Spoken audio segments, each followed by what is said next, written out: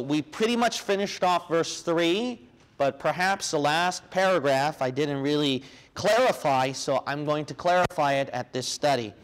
So Ephesians chapter 3, verse 3, it says, How that by revelation he made known unto me the mystery. So remember that I explained to you that God gave a revelation to Paul unlike any of the apostles and prophets before. And what he revealed to him is a mystery. The mystery, as I explained to you, which I'll explain more at verse 6, is that the Gentiles are able to join the same body of Christ with the Jews, which the apostles and prophets have never uh, seen before. Notice that Paul writes in the parentheses here, as I wrote afore in few words. So he mentioned it a few times. He wrote about that before. If you look at all of his other epistles besides Ephesians and the epistle of, Ephesians itself, he did mention that a few times. Now remember, the goal of this Ephesians Bible study is for you to understand every single word in the verse we're covering. So try to understand every word. And if you don't understand every word, you're going to see the teacher explaining it already for you. All right, so that's the goal of verse by verse Bible study. That way you can have a common sense uh, understanding of the language in the Word of God in your daily Bible reading. So remember, that's the goal. So if you think some of the things I teach is too simple or repetitive, no, it's trying to explain to you every word and the meaning and the whole context of everything we talked about in that whole chapter. So that might help you to pay more attention and to understand better. Okay? All right, just letting you all know that as a reminder. Now, verse 4, he mentioned at verse 3, he wrote afore in few words. He mentioned it before a few times about this mystery, whereby when ye read, so whereby, so he's trying to explain here, in other words, when you're reading what he wrote about this mystery, ye may understand my knowledge in the mystery of Christ. That way, those people can understand what he knows, Paul's knowledge about this mystery that Christ gave to Paul about the Gentiles becoming one body with the Jews. Now let's keep reading. Which in other ages was not made known unto the sons of men. So, Paul claims that the body of the Lord Jesus Christ, that the body of Christ here, it has not been revealed before to the sons of men. So, in other words, all of mankind, mankind itself. So, mankind itself, they were not revealed about this mystery of the body of Jesus Christ. But Paul was revealed this mystery. So God did not do it until Paul. Now let's keep reading as it is now revealed unto his holy apostles and prophets by the Spirit. So, this mystery, God did not reveal it before to the sons of men. That's referring to mankind in general. Now, you'll notice that kind of language, just to explain about the Old King's English. When it goes like sons of men, you might say, why does it refer to uh, the daughters of men? Why does it say sons of men? So whenever it does that, it's referring to mankind in general. Now, when we say mankind in general, notice we're not saying womankind, we say mankind. So everyone takes it for granted that when it's used as a masculine term, it's referring to all humans. So don't think that sons of men is just referring only to men. It is including you women. It's just how our normal language of English communication. We always use it in a masculine form. So this is the body of Christ, and it was revealed clearly. Notice it says, now unto the holy apostles and prophets.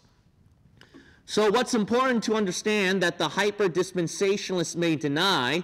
So here's the thing about the hyper-dispensationalists that I don't like. So they might uh, admit that the apostles and prophets during the time of Paul, they understood the mystery of the body of Christ, but the way they teach it And a clear example is the general epistles. What are general epistles? General epistles are referring to the books of Hebrews all the way to Revelation.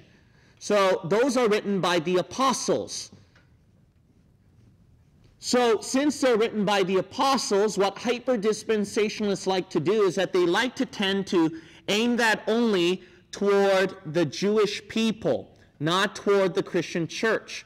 Now, we do agree that a lot of the general epistles has tribulation application, but what did I teach you before, church? What did I teach you? Is it a single application or a double application?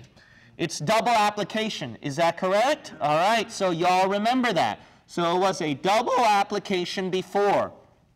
A double application that the general epistles apply to both toward tribulation doctrine and church age doctrine. Thus, knowing that fact, we do know that some of the writings in Hebrews to Revelation, a Christian can claim application. We can say, man, bless God, I can claim a promise from a general epistle. But hyper dispensationalists, they hate that so much, they keep saying, no, it's only tribulation. A Christian can't claim a promise from Hebrews to Revelation. So, in order to, uh, in order to have that mindset, they make it sound like that the apostles, even though they may not mean to, but they give the impression that the apostles, Peter, James, John, all those people, are solely having the understanding of Jewish doctrine, Jewish tribulation doctrine, not Christian church age doctrine. So that's the kind of impression they're trying. Notice that that verse, no, it's uh, is it just Paul or the holy apostles and prophets? Holy apostles and prophets, right? Is that what the Bible says? Is that what the Word of God says?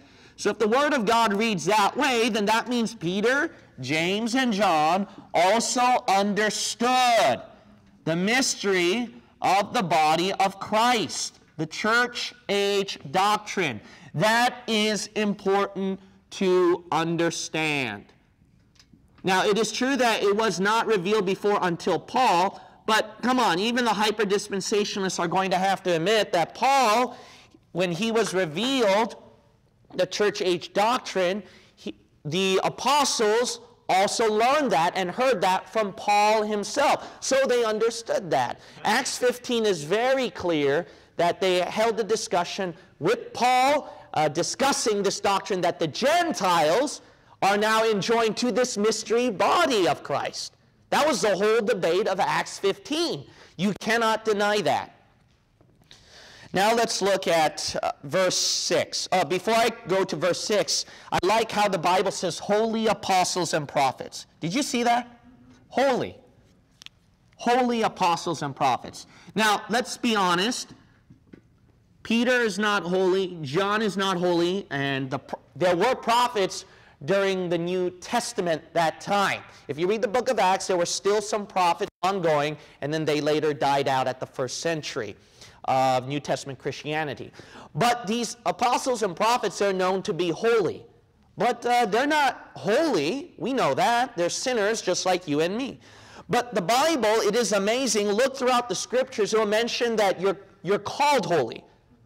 You guys are addressed as holy. The apostles are addressed as holy. Christians within the church are addressed as holy. Specific individuals within the church are called holy. And why is that? The only reason why we're called holy is very simple, is because of the Lord Jesus Christ, what he did at Calvary.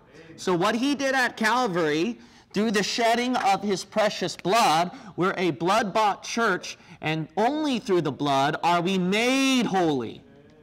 So then, being made holy through the blood, that's the reason why God sees us as holy. So look, let's be honest, we still sin, and when I look at you and you look at me, look, we're still scum. We still mess up.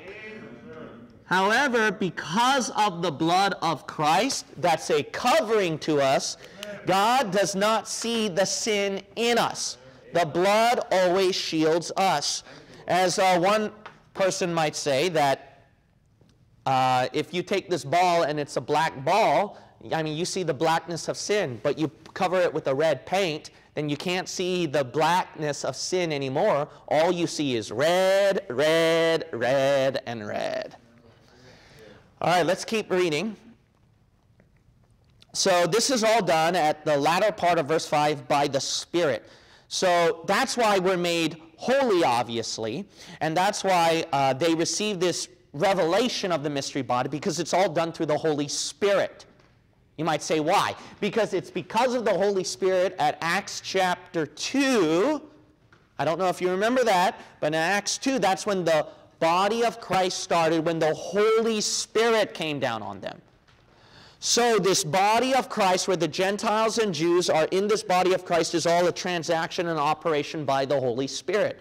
Not only that, the apostles and prophets are made holy because they get born again.